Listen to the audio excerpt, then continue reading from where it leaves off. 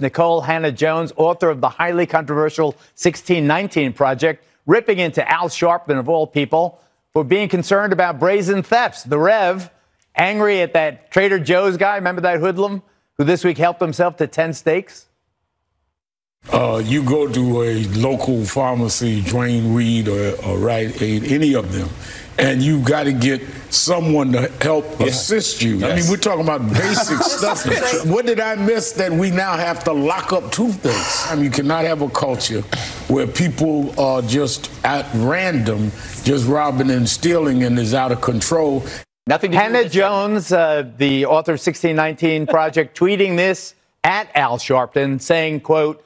This drumbeat for continued mass incarceration is really horrific to watch. A person stealing steak is not national news, and there have always been thefts from stores. This is how you, Al Sharpton, legitimize the carceral state. Rite Aid's closing, all the other drugs. I remember I covered Freddie Gray in Baltimore 2015, the big Rite Aid they put to change the neighborhood, raped really by looters, closed. Aren't these people really harming the community in a way that should spur uh, a, a, carceral state? You got to put them someplace. You do, Geraldo. And she says this isn't national news. That network spent a week on a guy who smirked at an Indian banging a drum. Mm-hmm. Remember that Covington kid? He smirked, and that was their lead story for a week.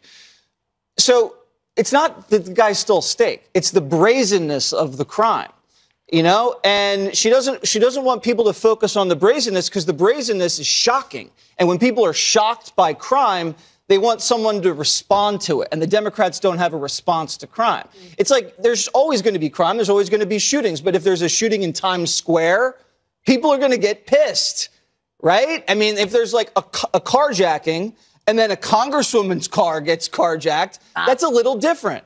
So it's like where does it stop? Like some guy's going to steal something. Usually it's you try to hide it in your pocket and then you run away from security. It, now guys are walking out with whole sticks. What some guy's going to walk out of a butcher shop with a whole cow, Geraldo. They're going to steal your girlfriend next. Walk out of a store with your girlfriend over your shoulder.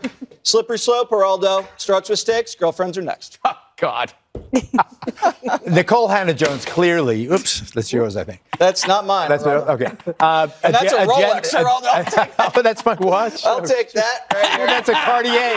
that's a Cartier. Yeah, yeah, Cartier. It's a victimless crime, Geraldo. Yeah, just walk out. I'll give you a steak for it. It's not a national story.